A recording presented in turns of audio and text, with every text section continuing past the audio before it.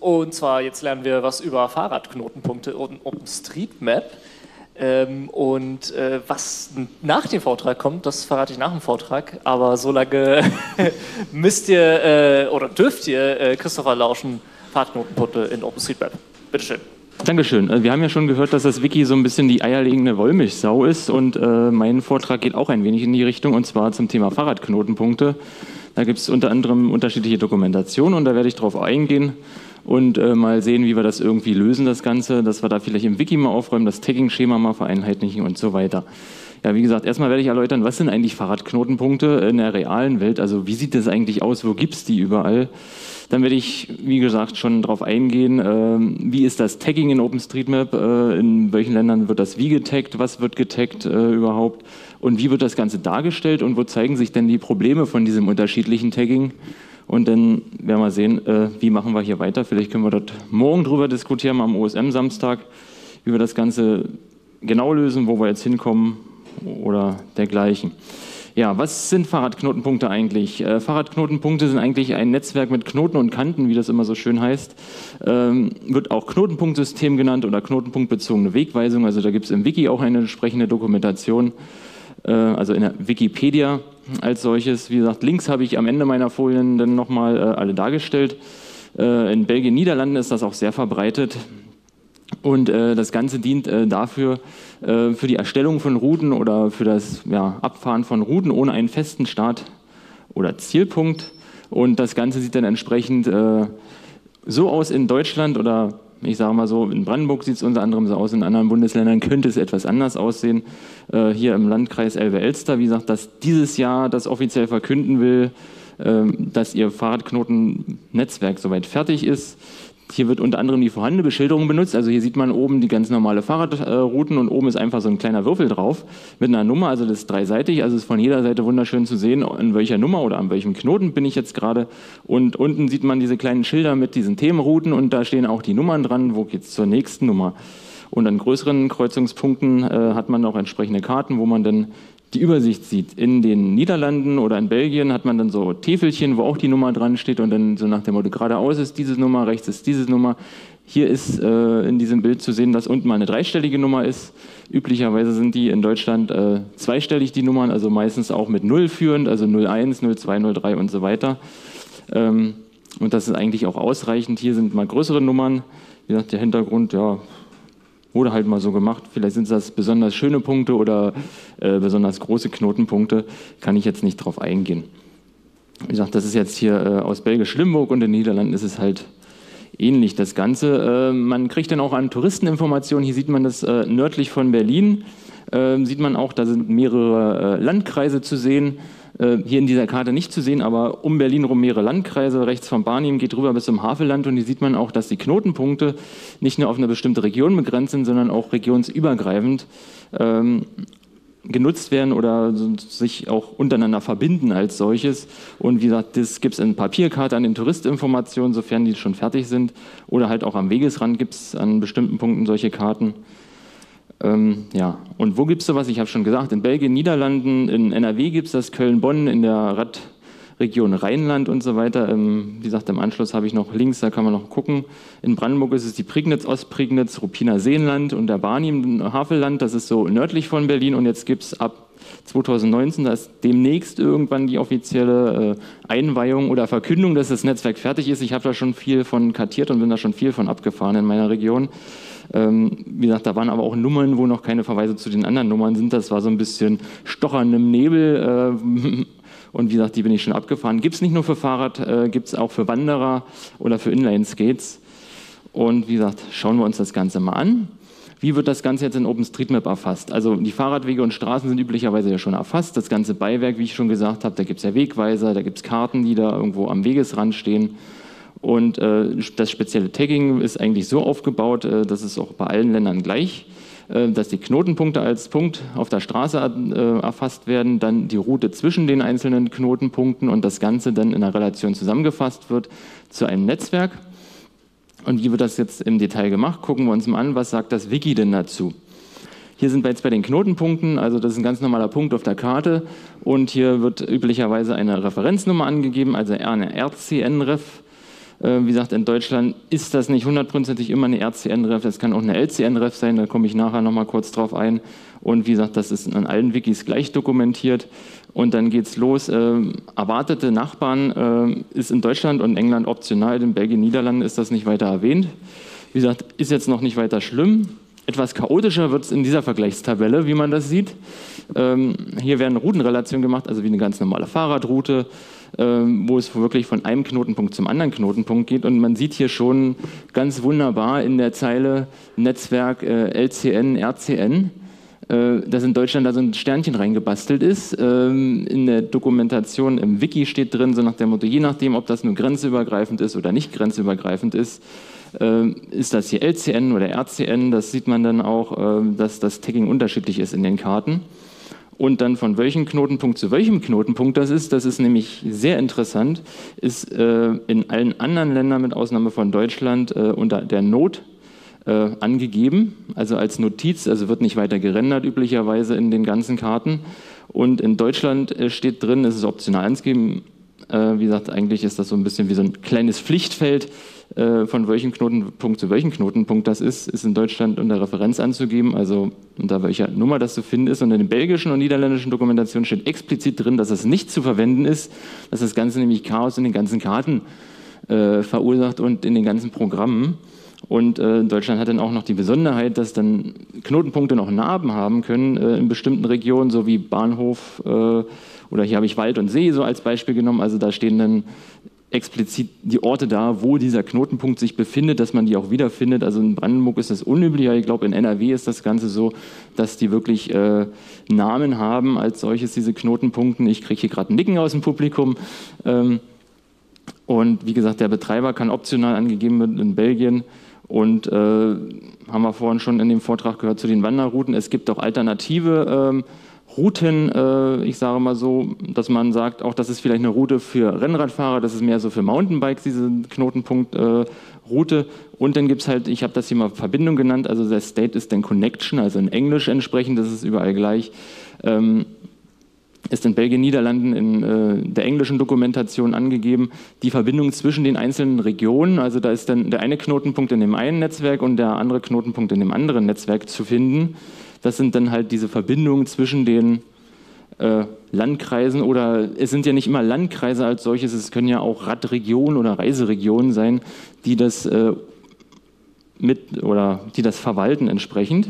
Das ist ja erstmal das allgemeine Tagging und dann werden die Wegabschnitte hinzugefügt und ähm, wie gesagt, in Niederlanden und Deutschland werden auch optional die RCN-Refs, also die Knotenpunkte als solches mit hinzugefügt in der Routenrelation, was natürlich auch immer nicht so schön ankommt, weil da meckert auch der Validator dann irgendwann rum, wo er sagt, äh, du willst hier eine Route bauen, hast hier aber einen Punkt drin, äh, was ja irgendwie nicht dazugehört. Ähm, Habe ich nachher auch noch ein wunderschönes Beispiel dabei, äh, wo man dann sieht, wo das Probleme verursacht. Hier, wie man so schön sieht, äh, habe ich jetzt die belgische Dokumentation rausgenommen. Warum habe ich die rausgenommen? Weil in der belgischen Dokumentation ist zu dem Tagging des Netzwerkes kein Wort erwähnt. Es steht nur halt drin, äh, die ausführliche Dokumentation, siehe in der englischen Dokumentation. Deswegen habe ich hier jetzt nur ähm, die drei Länder rausgenommen oder die drei sprachigen äh, Dokumentationen. Also die deutsche ist wirklich auf Deutsch, die niederländische auf Niederländisch und die englische ist halt auf Englisch gemacht. Ähm, wie gesagt, war für mich natürlich ein bisschen schwierig, weil ich kein Niederländisch habe, aber ich habe trotzdem alles irgendwie zusammenbekommen äh, an den ganzen Informationen. Und wie gesagt, Relation ist erstmal ja, Typ Netzwerk und dann wieder dieses deutsche Problem LCN, RCN, ICN, sonstiges, je nachdem, ob das über eine Grenze geht oder nicht. Da streiten sich auch, ist das jetzt regional, ist das jetzt äh, eine lokale Route?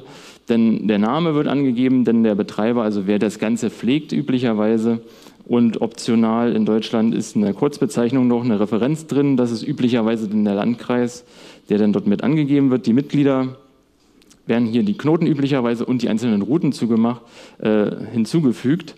Und in der englischen Dokumentation äh, werden dann die Connections nochmal separat angefasst in der, oder sind die dort auch hinzuzufügen. In der niederländischen, deutschen Dokumentation habe ich jetzt keine Informationen gefunden. Und ganz verrückt gibt es dann in der englischen Dokumentation noch die Beschreibung, steht das jetzt hier mit drauf? Ich glaube, das steht hier nicht mit bei, doch Typ Connection. äh, zur Zusammenfassung größerer Gebiete. Also da gibt es dann noch, äh, wo mehrere Netzwerke zu einem neuen Netzwerk zusammengebastelt sind zum Thema äh, oder Diskussionsthema wieder. Ähm, Relationen sind keine Kategorien, wo es dann wieder noch größer ist. So, dann kommen wir mal zu der Darstellung. Also hier sieht man so einen Ausschnitt aus den Niederlanden, gehe ich auch noch ein bisschen drauf ein. Also wenn man diese Open Cycle Map aufruft, äh, die kann man direkt aufrufen über osm.org wählt man an der Seite die entsprechenden Layer aus, kann man sich das angucken. Wenn man noch weiter rausgeht, habe ich jetzt kein Foto dabei, dann sieht man wunderschön in den Niederlanden und Belgien, äh, wie schön verbreitet äh, das dort in der Region ist. Also wie gesagt, Deutschland hat das auch ein bisschen mit bei. Und wenn man etwas dichter rangeht, dann sieht man hier auch entsprechend die Knotenpunkte und die Verbindung dazwischen. Und hier sieht man auch wunderschön ähm, das Beispiel. Ich gehe hier mal sieht man das, ich denke mal ganz knapp. Da ist zweimal die 94 zu sehen. Das ist so ein Knotenpunkt, der an mehreren Stellen zu finden ist. Und äh, zweistellige, habe ich gesagt, reichen auch aus. Reichen auch aus. Hier oben rechts sieht man wunderschön, haben wir einmal die 11 zu finden. Und irgendwo hier unten ist auch nochmal die 11. Ist von der Sache her kein Problem. Man kommt nämlich, wenn man hier von der 87 zur ja, jetzt ist hier oben natürlich keine Nummer, äh, würde man die 11 zum Beispiel zweimal passieren als solches, ist alles kein Problem. Hier sieht man einen deutschen Ausschnitt und hier sieht man auch schon, dass irgendwie die Farben unterschiedlich sind und hier geht es dann nämlich schon los bei der Darstellung, äh, dass es mal in lila gefärbt ist oder mal in blau gefärbt ist. Ähm, das hat damit zu tun, ob das LCN oder RCN ist oder ICN. Je nachdem, wie das Ganze getaggt ist, hat das unterschiedliche Farben in der Karte. Und äh, man sieht hier auch wunderschön die Referenznummern dran. Also der, vom, aus dem Publikum ist es wieder ein bisschen schwerer zu erkennen. Aber hier sind kleine Nummern drunter und hier sieht man dann halt die Verbindung zwischen der 20 und der 21. Und das ist, wie gesagt, in der Region nicht das große Problem, aber in Regionen, wo große Radwege zusammentreffen, wo man dann den Elbe-Radweg hat und noch, äh, ich sage mal, fünf weitere touristische Radwege. Dort äh, sieht man dann natürlich einmal diese Nummern dazwischen und dann hat man auch diese Elbe, sonstiges, was man da an Fernwanderwegen hat, äh, noch mit dazwischen gemischt. Als solches äh, kann man sich jetzt darüber streiten, will man die Informationen sehen oder will man die jetzt nicht sehen. Und wie gesagt, das kommt natürlich von diesem unterschiedlichen Tagging.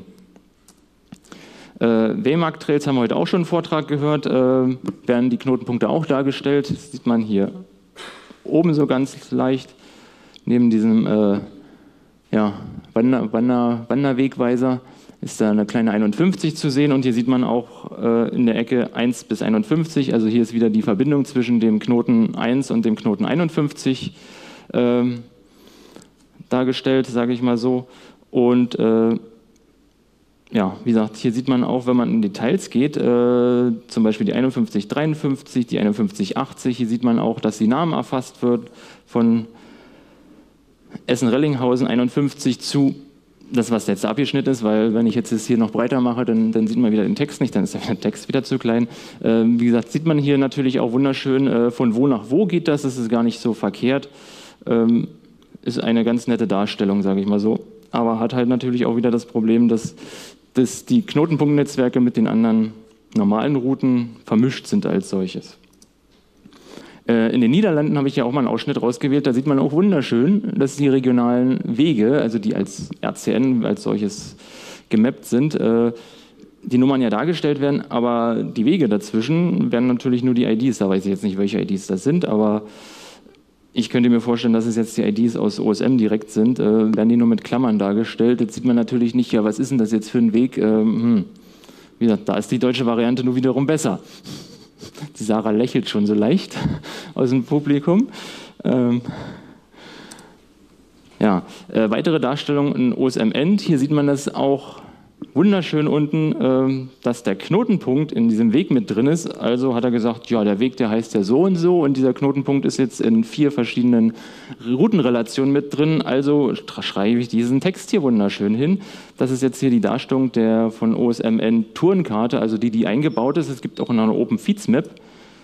Ähm, da sieht das dann alles wieder ein bisschen anders aus. Ich weiß jetzt nicht, welche welche ist. Das eine ist das eine, das andere das andere. Hier steht es nochmal untereinander. Da habe ich jetzt hier äh, vor lauter Text sehe ich gar nicht, wo der Punkt jetzt eigentlich ist, der hier eigentlich irgendwo sein müsste.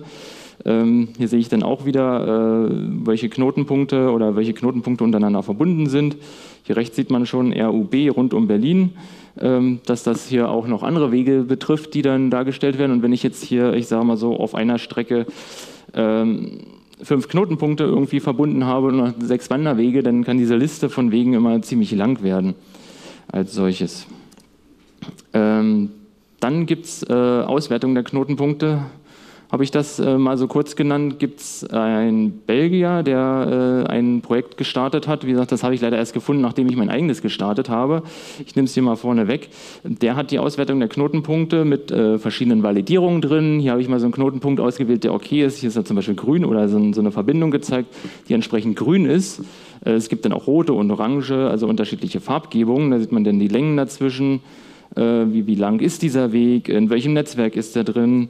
Und wie gesagt, der hat da vielseitige Prüfungen drin. Der prüft dann auch, äh, ob dieser Weg irgendwie befahrbar ist für Fahrradfahrer oder halt nicht befahrbar ist für Radfahrer. Also ob diese Routenrelation hier überhaupt stimmt, ob irgendwelche Informationen fehlen. Und äh, hier hat er natürlich jetzt auch das Problem, dass er sagt, habe ich hier noch eine Grafik dazu? Ja, hier habe ich noch eine kleine Grafik dazu.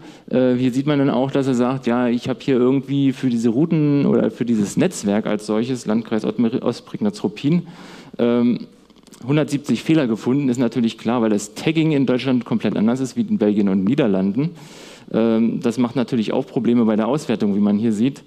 Ähm, Knoten und Routen, wie gesagt, die werden einfach durchgezählt und da werden entsprechende Fehler gefunden. Hier sind auch wirklich echte Fehler drin. Hier sieht man auch äh, in diesem Check Nummer zwei, äh, Integritätscheck, also nach dem Motto, wie viele Routen habe ich erwartet, wie viele habe ich gefunden. Hier werden irgendwie drei erwartet, also drei Verbindungen zu weiteren Knotenpunkten und es werden äh, vier hat er gefunden in der Datenbank. Also da stimmt auch irgendwas wirklich nicht. Also das hat jetzt nicht mit dem deutschen oder niederländischen oder internationalen Tagging zu tun. Und er hat natürlich hier noch weitere Auswertungen drin äh, für andere Fortbewegungsmittel, also auch für Inlineskate, für Wanderer und so weiter hat diese aber so ein bisschen unflexibel drin, dass er die immer so als solches ergänzen muss im Nachhinein. Wie gesagt, ich habe schon gesagt, ich habe mal selber was gebastelt, um zu sehen, wie sieht es denn eigentlich auf dieser äh, Karte aus mit diesen ganzen Verbindungen, wo sind Knotenpunkte, was stimmt hier eventuell nicht. Äh, habe ich mir erstmal hier so eine kleine, kleine Karte gebaut, wo ich sage, das sind die Wege, das sind die Knotenpunkte und habe mir so ein paar Informationen daraus geholt. Und natürlich nicht ganz so umfangreiche Prüfungen äh, wie auf dieser anderen Karte gemacht. Und äh, wie gesagt, hier sieht man dann auch sowas, dass ich hier irgendwie erwartet drei habe und gefunden sechs oder sowas. Äh, da habe ich dann auch irgendwie mehrere Relationen gefunden, die dazwischen sind, wo ich mir dann erstmal sage, wie, was steht denn hier drin?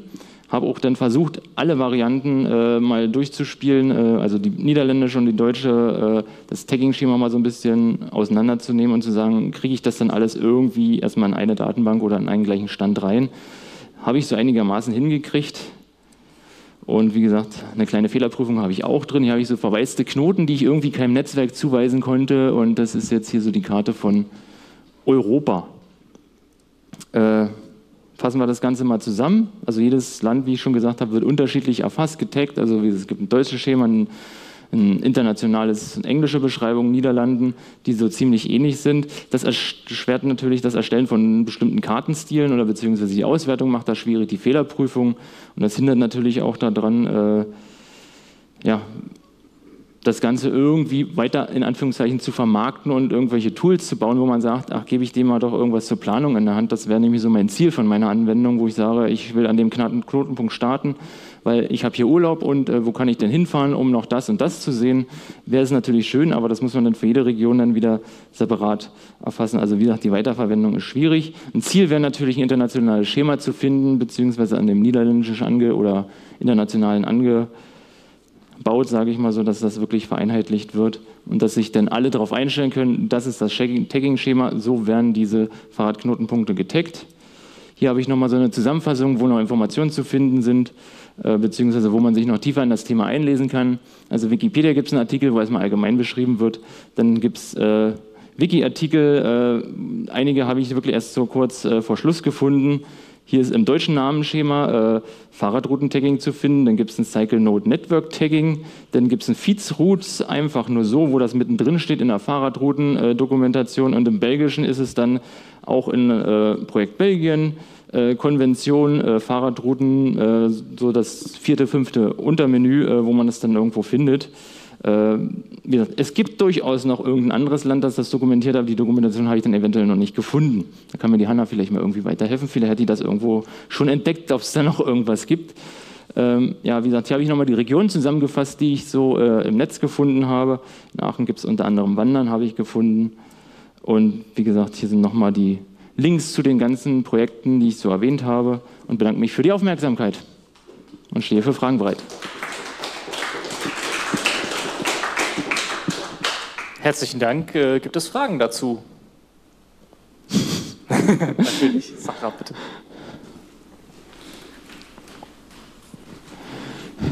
Okay, äh, danke. Ich wusste nicht, dass sich das in Deutschland auch so weit verbreitet hat. Das war auf jeden Fall neue Information für mich. Mhm. Ähm, also kurz zur Verteidigung wegen der fehlenden Namen in, ähm, in WMAG Trails. Das ist ein Bug. Da wurde die Note mal angezeigt in Belgien, die diese hatte. Das ist irgendwann mal rausgefallen bei irgendeinem Update. Hat sich leider niemand beschwert. Äh, also das werde ich mal ändern irgendwann. Aber was ich eigentlich sagen wollte, ähm, also was mich als Kartenmacher, äh, was ich schön fände, ist, äh, wenn diese Routen speziell getaggt wären. Wenn es also ein Tag gibt, das ist eine Netzwerkroute. Weil dann kann man nämlich die Routen filtern und kann spezielle Behandlungen machen. Was ich überhaupt nicht gut finde, ist der Missbrauch von den Name- und den Ref-Tags. Auch da fände ich es gut, wenn man Tags, spezielle Tags äh, sich ausdenkt und sagt, okay, das geht from, to oder irgend sowas in die Richtung. Also das würde uns das Leben leichter machen.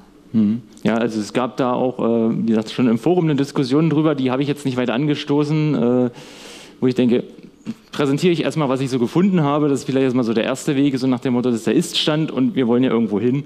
Können wir gerne drüber reden, so nach dem Motto, was jetzt die sinnvollsten Tags sind oder welche, welches Tagging äh, wirklich da sinnvoll ist. Und wie gesagt, das ist mir wirklich bei der Erstellung der Präsentation jetzt aufgefallen, dass in den Niederlanden da wirklich dass die IDs in Klammern stehen, wo ich denke, jo, die Informationen sind noch nicht da, habe ich jetzt auch irgendwie nicht erwartet, dass es irgendwie angezeigt wird. Also das war jetzt keine Kritik als solches. Äh, Bemerkung dazu. Äh, bisschen näher dran. Achso, einfach näher ran. Äh, meine Bemerkung dazu, die, äh, es ist eigentlich äh, bis auf äh, die deutsche Sondervariante immer von RCN-Refs äh, in allen Ländern bisher mhm. Äh, gemacht worden und nur die Deutschen haben dann angefangen zu diskutieren, ob diese Kategorie, ob das nicht auch LCN-Ref ist. Meiner Meinung nach ist die Kategorie sowieso sinnlos bei Knotenpunktnetzwerken. Bei Routen kann man durchaus sagen, Weg 100 Kilometer überschreitet keine Landesgrenze, ist lokaler Weg, etwas länger ist mhm. äh, entsprechend national oder international. Ähm, man sollte eigentlich äh, von diesem RCN-Ref insgesamt weggehen und eine eigene Kategorie machen, wurde ja mhm. auch schon vorgeschlagen, für äh, entsprechend die äh, Knotenpunkt-Netzwerkrouten, um sie unterscheidbar zu machen. Ähm, dann noch eine Bemerkung zu deinen Farben. Es ist äh, eigentlich geregelt, dass in Deutschland die, äh, die Knotenpunkte rot dargestellt werden, in ähm, äh, Holland blau und in Belgien grün. Das ist, das ist jetzt die etwas, reale Welt. Das ist jetzt nur in, in der Cycle Map einfach falsch entsprechend implementiert.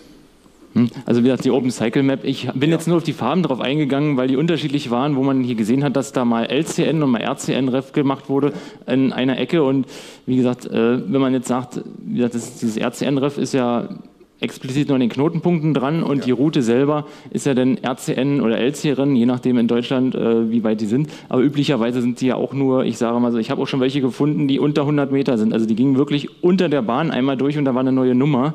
Bei dem niederländischen Beispiel, was ich vorhin hatte, da ist die Nummer wirklich, ich habe es auch in Deutschland schon gesehen, wirklich mal 500 Meter auseinander, ein und die gleiche Nummer als solches. Und wie gesagt, da, die sind wirklich, ich sage mal, vielleicht maximal 10 Kilometer auseinander, das war so grob geschätzt äh, so, so eine Route.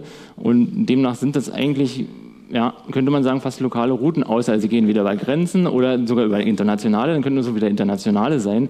Ähm, wie gesagt, daher fände ich die Festlegung von den Niederländern und den Belgiern gar nicht verkehrt zu sagen, wir machen das einheitlich, diese, diese Routen zwischen den Knotenpunkten, weil das ist alles irgendwo ein regionales Netzwerk und es ist ein Teil des Netzwerks, was regional ist. Ja, ähm, es ist aber so, dass äh, sehr nah beieinander liegende äh, Knoten mit, dem, mit der gleichen Knotennummer durchaus eine, äh, ein Knoten sind. Also ähm, das ist richtig, ich darf ja. Beispiel aus Radrevier Ruhr äh, bringen. Das sind meistens Brücken, die beidseitig befahrbar sind. Dann wird der Knoten eben nicht auf, auf einen Punkt reduziert, hm. sondern da äh, auf beiden Seiten äh, man die Brücke äh, mit dem Rad, die Straße, die große Straße nicht überqueren kann, wer, werden äh, Varianten geführt, also rechte, linke Seite.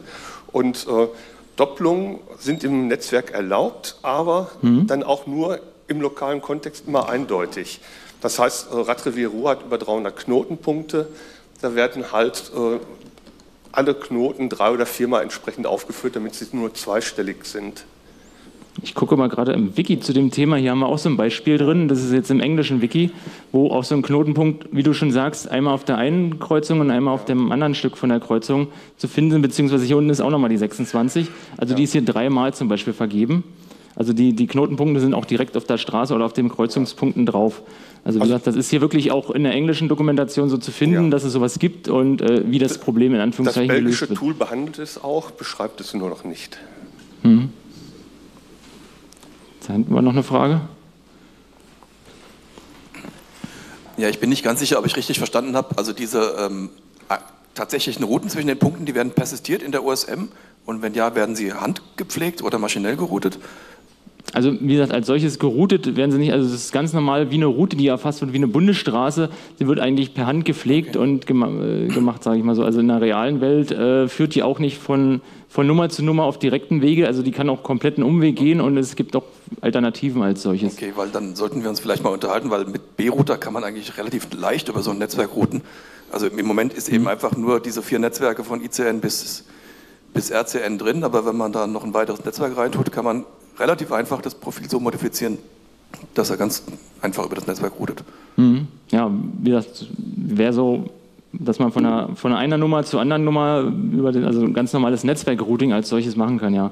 Wie gesagt, das ist auch irgendwo die Zukunftsvision, wenn das mal irgendwann einheitlich ist, dass man da wirklich mal eine Anwendung draus baut, wo man dann wirklich entsprechend drüber routen kann und wirklich das Ding komplett durchplant, wo man sagt, ich fahre jetzt so und dass man das in sein Navigationsgerät oder auf sein Handy dann raufladen kann oder einen GPX-Track rausbekommt, der dann entsprechend routet. Das ist irgendwo.